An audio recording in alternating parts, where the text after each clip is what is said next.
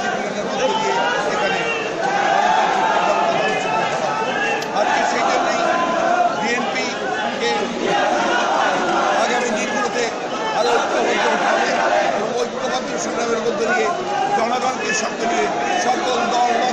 দিয়ে জনগণকে করতে হবে এই হচ্ছে আজকে বিএনপির সভাপতি জিয়াউর প্রতিষ্ঠাতা বিএনপির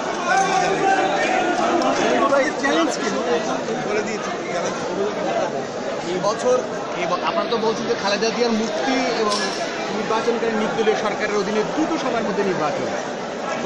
চাওয়া? সেটাকে আগামী বছর পূরণ করার জন্য আমরা কাজ করেছি আমরা কাজ শুরু করেছি আমরা জানেন সম্পূর্ণ একটা প্রতিকূল অবস্থার মধ্যে দিয়ে আমরা রাজনীতি করছি।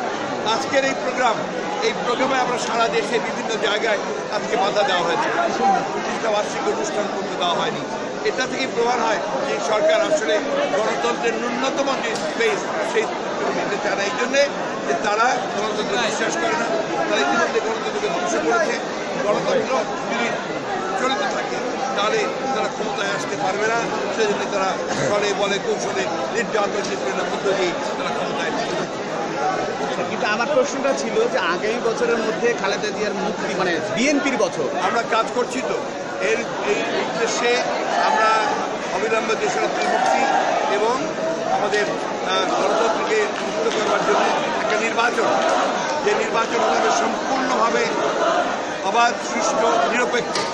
আমরা বলেছি যে এই নির্বাচনকে বাতিল করে দিয়ে, ফলাফল বাতিল করে দিয়ে একটা নিরপেক্ষ সরকারের অধীনে একটি নিরপেক্ষ নির্বাচন কমিশনের পরিচালনায় আবার সুষ্ঠু নির্বাচন হবে গ্রহণযোগ্য নির্বাচন হতে হবে এবং তারই মাধ্যমে জনগণের পার্লামেন্ট জনগণের সরকার গঠিত এই দুটো দাবি আদায়ের জন্য কি করবে বিএনপি? আমরা আন্দোলন করছি আন্দোলন আরও বেগবান হবে।